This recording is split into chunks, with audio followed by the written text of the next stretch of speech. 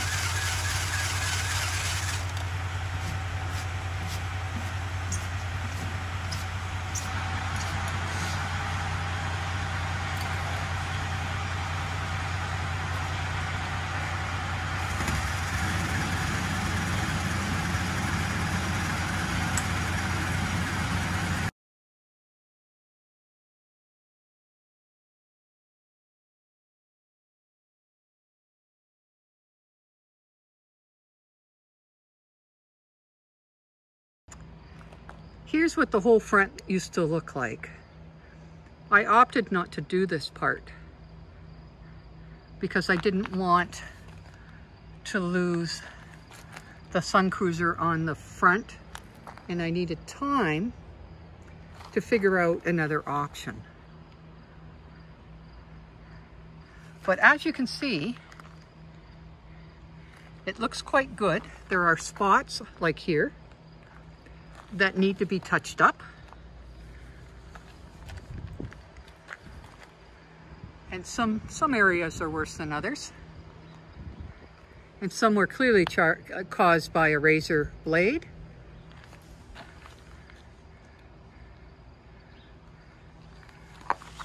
But all of that will get taken care of.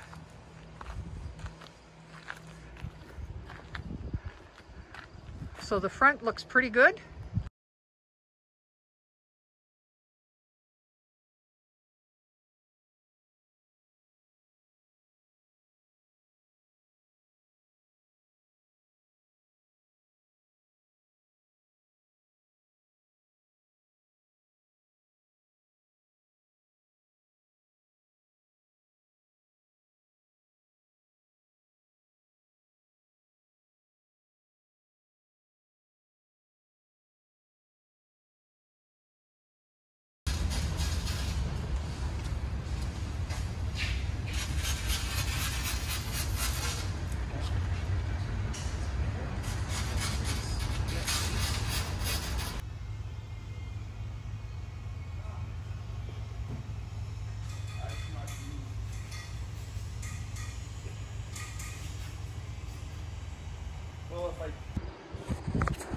And the clear coat doesn't look perfect, but it certainly looks way better.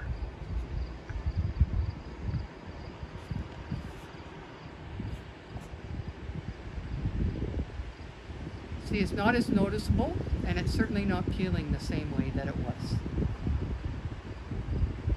It's not a, a permanent fix, but for now, it will work.